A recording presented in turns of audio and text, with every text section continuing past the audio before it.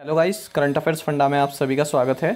आप सभी जानते हैं कि इस साल की शुरुआत से हमने दो इनिशिएटिव आपके लिए शुरू किए थे।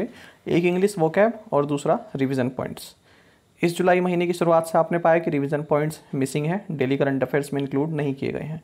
तो कुछ एस्पिरेंट्स ने कॉमेंट्स करके सजेस्ट किया कि रिविज़न पॉइंट्स इंक्लूड रहने चाहिए। देखिए, ढाई से तीन हज़ार एस्पिरेंट्स डेली करंट अफेयर्स देखते हैं हमारे। उनमें से दस या बारह एस्पिरेंट्स ने रिवीजन पॉइंट्स इंक्लूड करने की बात की है तो ये उन्हीं के लिए वीडियो बनाई गई है। क्योंकि हर एक एस्पिरेंट हमारे लिए इंपॉर्टेंट है, ऐसा नहीं है कि दस से बारह एस्पिरेंट ने ही केवल कहा है तो उनको इग्नोर किया जाए। तो इस वीडियो के माध्यम से मैं आपको ये बताना चाहता हूँ कि क्या रीज़न है। देखिए रीज़न ये है कि अब से आपको डेली करंट अफेयर्स जो एम सी क्यूज़ हम लाते हैं, वो आपको ज़्यादा मिलेंगे।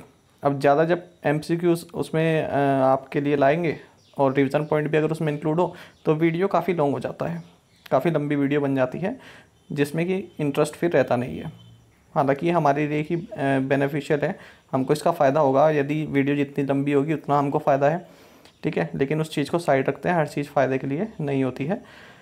तो नंबर ऑफ़ क्वेश्चंस जो डेली हम कवर करते हैं, वो अब बढ़ाए जा रहे हैं, ताकि ज़्यादा से ज़्यादा फ़ायदा आपको मिल सके। तो ये आप ही के लार्जर लार्जर इंटरेस्ट में ये काम किया गया है। अब रिवीजन पॉइंट ऐसा है कि ये आप भी कवर कर सकते हैं, आप अपने आप इसको पढ़ सकते हैं। पिछले छः महीने आपने देख लिया होगा किस तरह से रिवीजन आपको करना है, या तो आप नोटबुक बना लीजिए, या डायरेक्ट आप पिछले करंट अफेयर की वीडियो देख सकते हैं। बाकी इंग्लिश वोकैब सेक्शन जैसा ये सेक्शन जो है, जैसे पहले आता था, वैसा कंटिन्यू रहेगा। लेकिन मैंने आपको पहले ही बताया था कि कभी कभी अच्छे वर्ड्स नहीं मिल पाते हैं।